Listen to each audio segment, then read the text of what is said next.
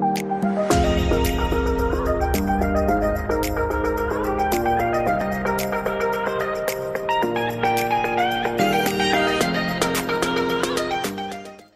everyone, welcome to my channel. Welcome to today's video.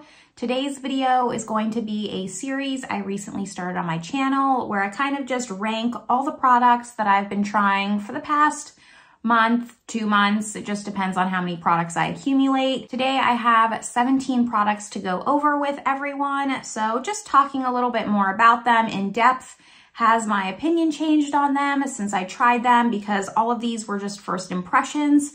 So without any further ado, if you like ranking videos, those are one of my favorites, then give this video a thumbs up, subscribe, and stick around. I do upload videos twice a week on Sundays and Thursdays.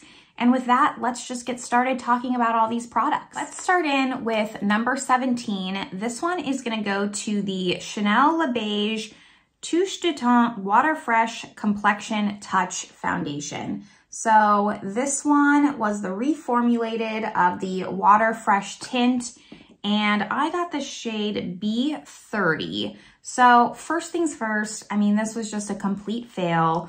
I hated it even more than the first one, which is tough to do. I really did not like that one. It just looks gross. It doesn't blend as well as the first one. Like the little pigments in here, you can see like it's kind of just like goopy. They tried to almost give it more coverage and it really just missed the mark. They kind of just grossed everyone out with these little pigments in here, which the original does have that, but it's not so just, I think, suspended in gel. So it doesn't look so just kind of petri dish. I don't know what it is about this. It's separated on the skin. It didn't last well. The coverage wasn't there for me. I didn't mind the original. I know a lot of people didn't like it. The only thing I didn't enjoy about that foundation was the wear time. It didn't last long for me. This one lasted a little bit longer, but it just looked terrible on the skin. And for reference, I have normal leaning dry skin. I have pretty average normal skin. It's not too oily, it's not too dry, and most foundations should work for me. So I will insert in a swatch of all of these, but another thing about this is, as I mentioned, I got the shade B30 and the shade was not comparable to other Chanel B30 shades. So that was also just a huge con for me. I don't wanna rag on this too much, Again, you can see just the photo I have of other Chanel foundations in the same shade, but this was just a really big miss for me. And it made me sad because the Le Beige Healthy Skin Glow Foundation, their original, is my holy grail. It's my number one favorite foundation of all time. I love Chanel as a brand. I love trying out their foundations. And to just have this one be a flop was really just disappointing to me. I will also, on top of linking any swatch photos that I have. I will also be linking any videos that I have above in reference if you wanna go back and watch the videos on any of these products. But this was just a complete and utter fail. Number 16 is going to go to another foundation. This is the Dior Prestige Le Cushion Tint de Rose. So it is a cushion foundation, their Prestige foundation, and it looks like this. It's very nice. The only thing about this, again, just like a complete fail, I have no idea what's going on with this foundation. I think that they're discontinuing it and it just, I can see why. It's not good. And this again was just a complete fail of a foundation. The only thing that saved this over the Chanel that bumped it up just a little bit is the cushion fact and that it wore a little bit longer. But this has like four shades and I think that I got the third shade up. I have the shade 20, but their shade range, terrible compared to just their other foundation. Dior usually isn't great with their shade range, but this was just the worst of the worst. And I just, I can't see anything good about it. From what I can understand, the Dior Prestige line is kind of just their step up and their more luxury makeup line compared to like their Dior Backstage line or just like the Dior Forever foundation. So their liquid form of the Dior Prestige Foundation is over a $100. And I got this one because it was a little bit less expensive than that, but I don't know. I might, for science sake, pick up the liquid one because I like to torture myself. But this didn't stand out to me. It didn't wear well. It just wasn't for the price a foundation I would reach for. There's way more foundations that are just better than this. And, you know, for a cushion, I love cushion foundations. And this is like the first cushion foundation I just didn't like. So that is why I'm putting this at number 16. Number 15 is another Chanel product. This is the Le Beige Water Fresh Blush. So I have the shade Warm Pink. And here you can see just how the original looked. This is in the original packaging for the Water Fresh Tint Foundation. It just looks less gross and maybe because it has like the plastic around it, it doesn't look so much like this one. But this also, I think I like put like five layers of this on my cheeks to even get anything.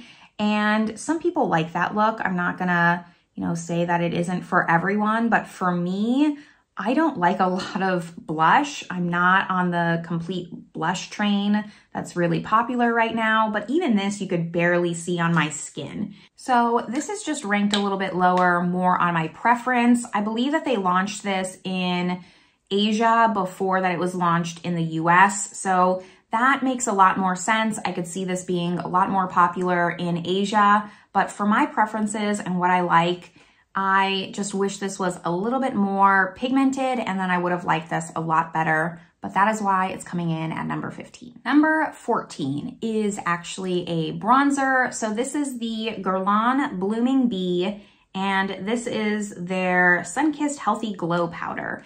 They call it a face powder. It's actually a bronzer. So it has like this bee design. It did have gold on it, but the gold's clearly faded off. And this wasn't a bad bronzer, but they don't really advertise it that great. So this bronzer is the same, I think, as their normal bronzer that they always carry in shade three. Here is a swatch of it. However, they added like the little pink in here. And as I mentioned, it had gold to kind of be like a universal glowy bronzer. But the gold wears off so fast, you can't even see it. And then to have just like a normal bronzer shade and make it this limited edition collection is confusing to me. It pulled very orange on my skin and normally any bronzer that kind of has like this pink running through it, I have a Dior one that's like that. There's the Too Faced one that I really enjoy. I usually enjoy bronzers that kind of have like this more rosy, but it didn't pull rosy. It just pulled orange. And I was just left confused by this bronzer. I don't, I don't have anything really great to say about it. It's not bad, just I could see myself decluttering this in the future and just not grabbing for it. It's nothing that blew me away that I that I love. And that's unfortunate because I really like Guerlain as a brand, but this just, this is not the greatest thing from them. Number 13, this is the Hourglass Ambient Soft Glow Foundation. So everyone was really excited when this came out because it had that ambient feel to it. Here is a swatch of it here, and I will also just throw up my swatch photo that I have comparing it to other shades. I have the shade 5, and first things first, the swatch photos on their website do not reflect the actual swatches that it comes in. It's so much lighter than it is. The shade still worked out for me. However, it's just important to know that Hourglass completely botched their swatch photos. They did not do a good job at showcasing the shades on there. I'm glad I went with the shade five. I think I was considering going with four and that just would have been way, way too light for me. But this is just, you know, we're kind of in that medium category. It's not bad, but it's it's not for me. This is a little bit more coverage than I would like in a foundation. I didn't really see that soft glow that everyone was talking about, that ambient finish. And I just, I wanted more from this. I would have liked it if the coverage was just turned down a little bit and it was just a little bit more luminous and wore better, but this didn't stand out compared to other foundations that I've reviewed recently. Nothing really, like I don't even remember how I feel about it. That's how unremarkable this foundation is. On to number 12. This one hurts my heart a little bit, but this is the Dior Backstage Face and Body Powder No Powder.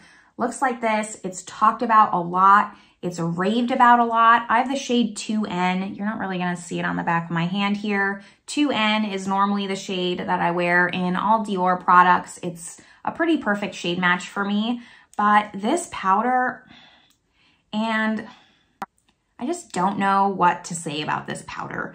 I want it to work so bad for me, but I just think similar to some of these other products, it's just not a product for me. I tend to prefer a translucent powder because I don't want to add more coverage and this just isn't translucent. It's going to add coverage. So this is really only a powder that I would wear if I was wearing a skin tint and wanted to just bump up the coverage just a little bit. It does work for that. It's great for that. I like it for that. I didn't like it in my video because I didn't like the foundation that I paired it with. I just didn't like that combination. However, when I put this powder up against a lighter coverage foundation to just build the coverage just a little bit and then set the foundation, this works great for that, but it's kind of just falling in the middle because it's not a staple that I could see myself using over and over and going through 10 of them like Samantha March. It's just okay. And, you know, a plus on packaging. I really like how sleek this is. It's very thin, but this just isn't something I'm gonna reach for every day. And that's why it's ranked a little bit lower. It's not bad, it's just, it's just okay. Coming in at number 11, we have another Dior product. This is the Dior Forever Natural Nude Foundation. So here is a swatch of it. Again, I wear the shade 2N in basically all Dior products, but this was good. I liked it better than the powder, clearly. That's why it's coming in at number 11. This confuses me a little bit because I see it at the Sephora in France here. That's currently where I live. However, it doesn't really seem talked about in the US. They definitely have it in the US, but I just, I don't see it anywhere. I'm not really sure what Dior is doing with their foundations. I know that they've reformulated a few of them, but this is a good foundation.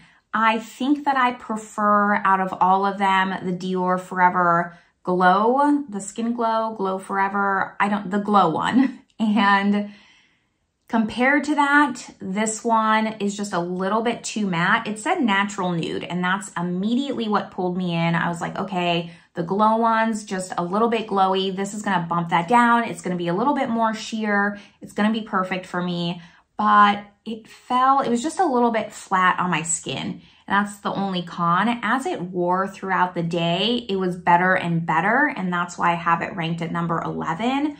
But in the beginning, this just didn't hit the mark for me. It's okay. It's not a foundation. You'll see some others coming up here that I'm just obsessed with that I want to wear over and over. It's not one that I think about and like, oh, I'm going to wear this Dior one today. It's not one of those, but I'm happy when I wear it. I like wearing it. It's just not an everyday one for me.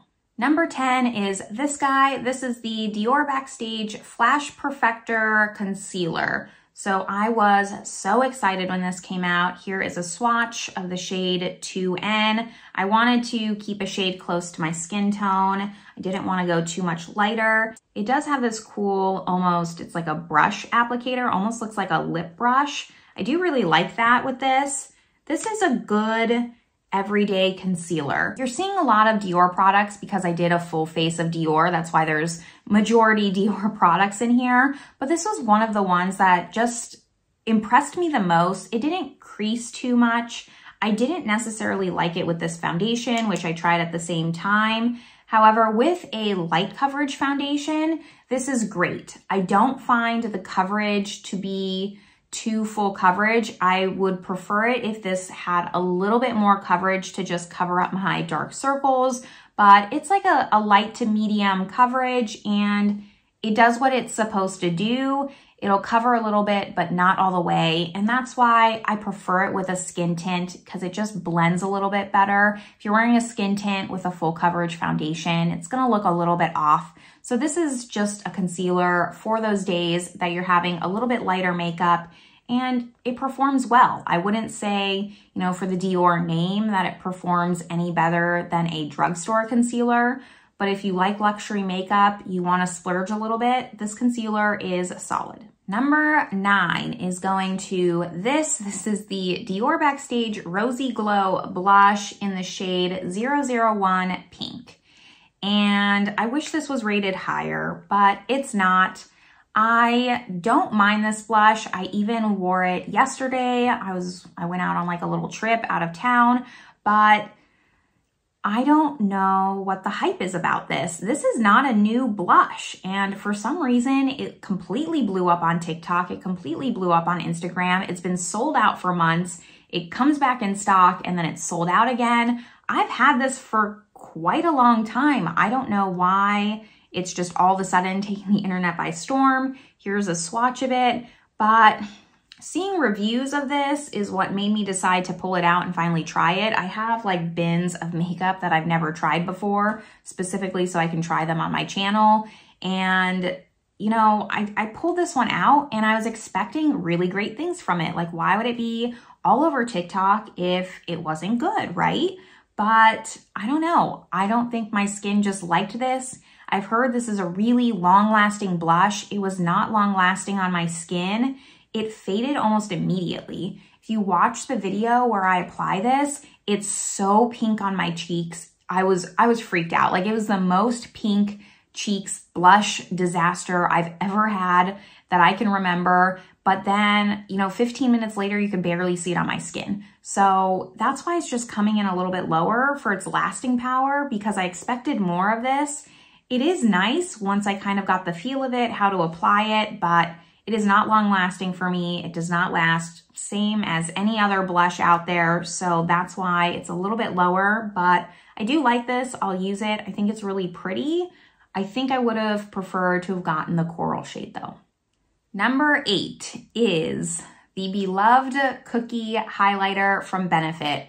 I know, I know, I'm like very late to the game, like years, years late for never trying this highlighter, but I just, I never tried it. I was living on an island. I didn't pick up any makeup. So that's why I've just tried it recently. Here's a swatch of it if you haven't seen it. If you haven't tried this highlighter, please let me know in the comments. So I know that I'm not the only one who kind of just never jumped on this train, but we're kind of in the category now where I like the products, they're good, I'll reach for them, but they're not as good as clearly the top products. This is a really nice highlight. I think maybe I'm trying it a little bit late. We're kind of past the really blinding highlight phase. We're kind of more into subtle highlight and more blush, but I still really appreciate a really great highlight. And this is really, really pretty, but there's just other things that I've tried that I like a little bit better.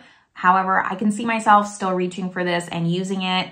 I wish that I had the slimmer packaging that Benefit's now coming out with, or I wish that I'd gotten this more in a palette so it wasn't so bulky.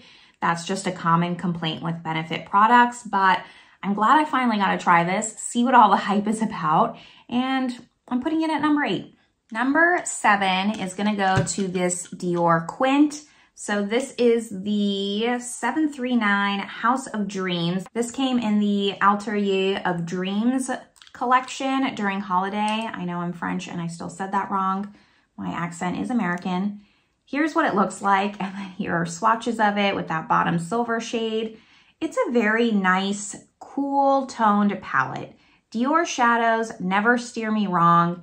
Is it like some colorful, crazy palette that you're gonna get and just be able to do amazing looks with. No, you know, it has this pop of silver and that's, that's as good as you're gonna get from Dior in my opinion. I know they have some other colorful palettes, but they really just shine in their everyday palettes that you can really depend on and use over and over again. I really think that that's their strong suit when it comes to shadows and it's not gonna be for everyone. Do I think you can get like a better palette with better quality somewhere else? Yes.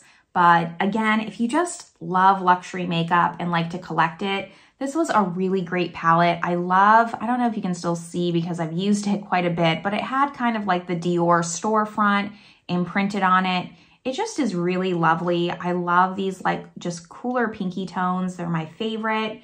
I have nothing bad to say about this palette. I liked every single look that I made with this. There's not too many looks you can make, but I just, this is something special to my heart. I really liked it comparatively to all these other Dior products that I tried. And then just a side note, if you order on the Dior website, you can usually get engraving on there. So I highly recommend if you're gonna order to do that.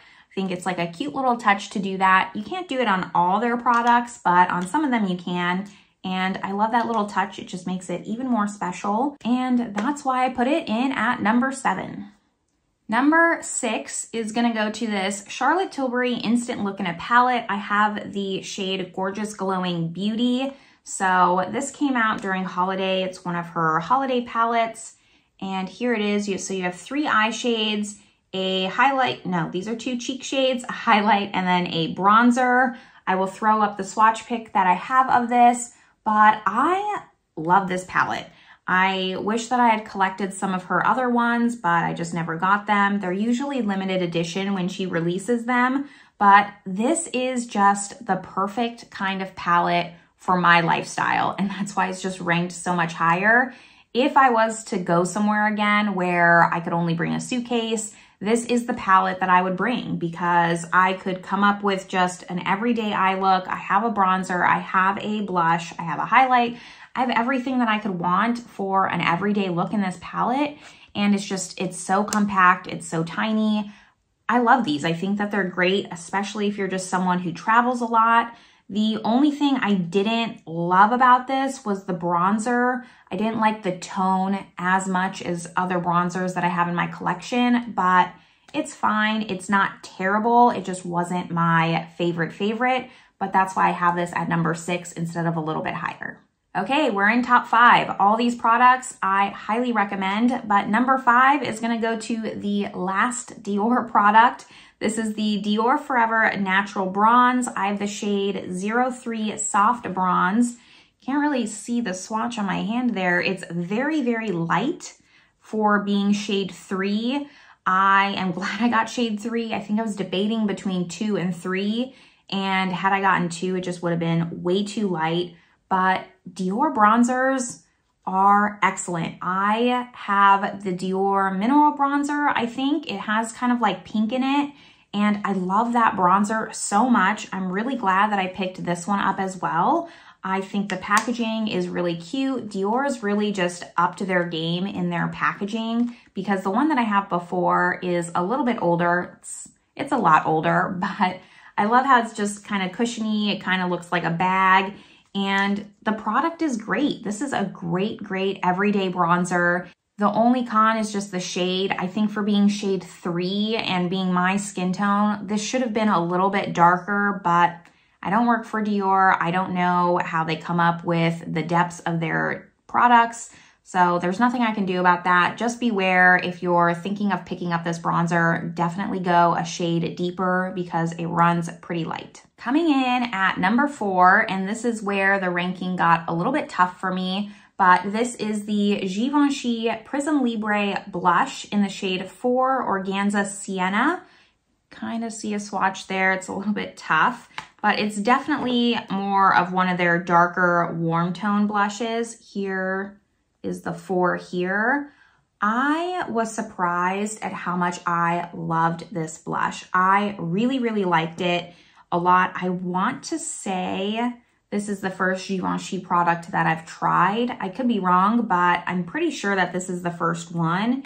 And it really, really impressed me. Wasn't expecting to like this as much as I did, mainly because it's a loose powder and loose powder is kind of a pain in the ass, especially when it comes to highlight, blush, bronzer, any of that stuff. It's just so much more convenient to have it in pressed form. That's why I've been waiting and waiting Givenchy is supposed to come out with their face powders, you know, that have the four things just like this, where it has like the four squares. They're supposed to come out with their loose powder in pressed form. And I've been waiting for that to come out because I would much rather it in pressed form. However, I haven't seen it yet. If anyone knows when it's supposed to release, please let me know because I do plan on picking that up. Just, I don't know what I can say about this. It was the perfect tone. They have different shades if this is not what you're into, but it's great for summer. It gives like that very sunburnt look to your cheeks, but I can also see this being really great in fall and winter as well. Just, it's a great all around blush. I don't know what else to say. My favorite part about this is that it has this like little puff in here that just stops the product. It's really just, that sealed the deal for me. And I know that sounds really silly, but I hate it when products get really messy and this just stops that. And the, the puff is just so cute. The, like for example, I have the Coty Airspun powder and that, like I have all these little cotton rounds stuffed in it to stop it from spilling everywhere because there's nothing I hate more than just powder flying everywhere. I, I really don't like that. I cannot stress enough how much I appreciate this little puff in here, stopping it from just getting really messy and then you can just take the puff out, pour it in the lid. It's just really cute. I I probably will pick up other shades. That's how much I liked this. I mean, that's why I ranked it number four, but this is just a product that I woke up in the morning getting ready to put my makeup on and I looked forward to putting this on. There's not that many products where I think about it like, I know what blush I want to wear. I usually open up my drawer and I'm like, uh, okay, I'll wear this one today. But I knew that I would want to wear this and I just, I kept wanting to pull for it. And that's why it's at number four. Number three, so this one is gonna go to the Charlotte Tilbury Beautiful Skin Radiant Concealer. I have the shade four here. I will also pop up my swatch photo and then you can watch my review of it up above. But this concealer is, it's great. It's everything that I hoped that it would be. It's lightweight, it covers really well. I feel like the coverage for me could just be a little bit, a little bit more. I just, I really like that full coverage concealer. I can't emphasize enough my dark circles. I do not get a lot of sleep. I get woken up a lot. It's just, it is what it is. And I need any extra help covering that that I can get. But other than that, everyday concealer, this goes great with light foundations. It goes great with medium coverage foundations, full coverage foundations. This just works well with every foundation that I've tried. It's just a great all around well-rounded concealer and that's why I have it ranked so high. With this Dior one, I have to remember, okay, wear it more with a lighter coverage foundation. This one I just know I can reach for it. It's gonna work, it's gonna be great, it's not gonna crease, you can set it. I love everything about this. The only, the only little star, the only little caveat is I wear the shade 4 in all of Charlotte Tilbury's foundations. Shade 4 is a pretty, pretty good shade match for me. I can usually rely on that foundation to work. I got the shade 4 in the concealer and it is so much lighter than the foundations. I don't like it when companies do that. I talked about it in my video before.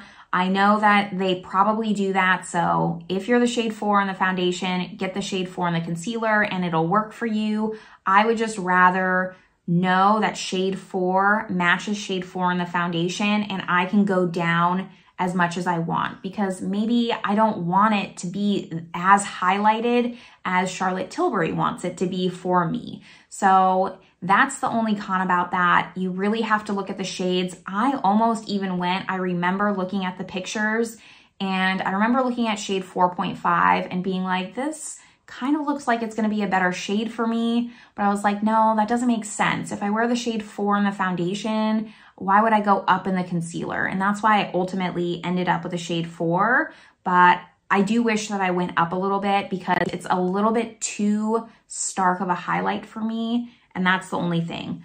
I might pick this up in a darker shade, so I just kind of have one that I can maybe mix with and have less of a highlight. But other than that, a plus concealer. Charlotte Tilbury really stepped it up with this concealer. I never tried the Magic Away concealer, but I don't think it was as big of a hit. This is just really good. It's being talked about right now for great reason. Highly recommend picking this up. I also think that the price point for this, I think it's $33, isn't that bad for a Charlotte Tilbury product. So run and go get this. Number two spot. This might surprise some of you because it's a powder, but it is the Makeup Forever HD Skin Twist and Light Powder. And I have the shade 2 Medium. I don't know if this released in the States yet because I got this before it released in the US. It had released in Europe.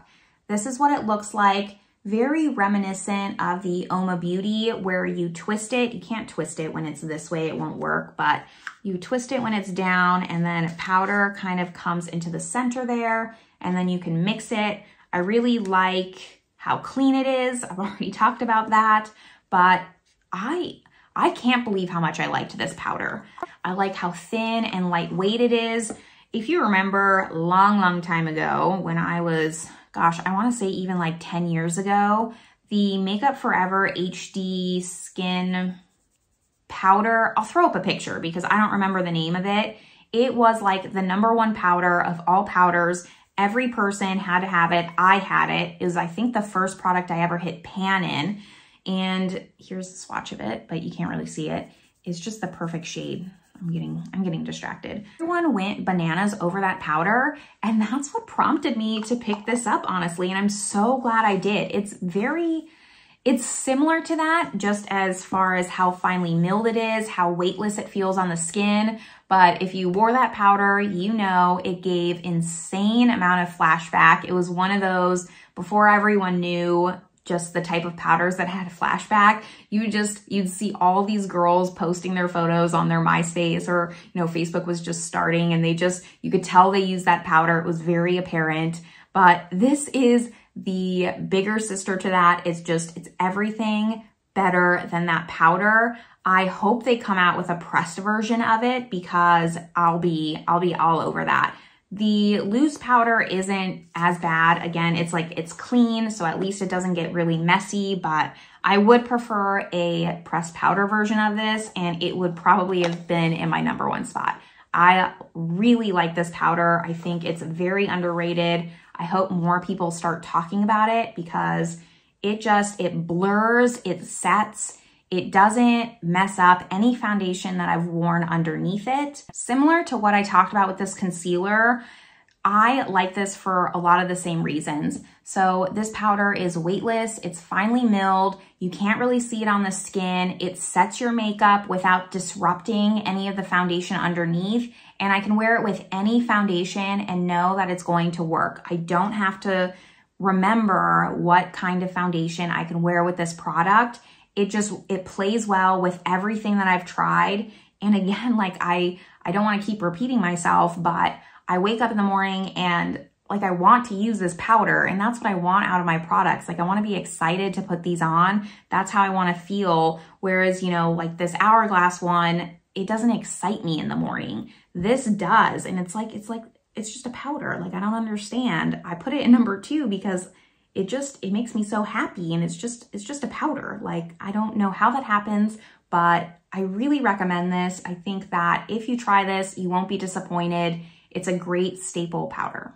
And if you thought I couldn't rave about products anymore, number one spot is going to go to the Beauty Blender Bounce Skin Tint, Always On Radiant Skin Tint. It looks like this and I don't know what I can say about this skin tint to really just project how I'm feeling about it. Here's a swatch here. I have the shade Light 4. So everything about this foundation, if I could create the perfect foundation, this is what it would be. I, I'm just gonna get this out of the way real fast before we talk about all the cons. I just don't like this dropper. I wish that it had more of like a squeeze tube or just, you know, you could pour it or a pump, anything other than this dropper. I'd rather it just not even have a dropper and just pour it out like this, quite honestly. But that's the only bad thing I have to say about it. Other than that, the exact foundation that I would create if I could create one. It's that perfect, just light coverage where it's, it's a little bit heavier than light. It's not sheer, it's light coverage. It wears perfectly throughout the day. And the wear down is perfect. It almost just wears down and looks like you're just not wearing makeup. I can't even explain how it looks. You can watch my review and just even see after eight to 10 hours how it looked on my skin. You couldn't even tell that it had worn down. That's just how naturally it wore down on your skin. And that's what I love the most about this. It was extremely weightless on the skin without being overly luminous. It was like a dewy, natural finish, which is the perfect finish for me and I can't say enough about this. I picked it up because I saw it on Tara Lynn's channel. I'm so glad that I did. I don't know why more people aren't talking about this. It's the perfect skin tint. Well, it's right on the edge of what I would consider a skin tint and a foundation because of the coverage.